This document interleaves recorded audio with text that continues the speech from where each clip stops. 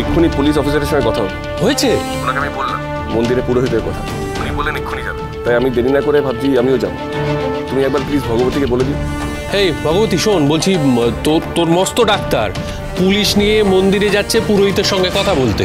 কিন্তু এই বাসি কাপড়ে মন্দিরে যাবি? তাই তো। এভাবে কি করে যাব?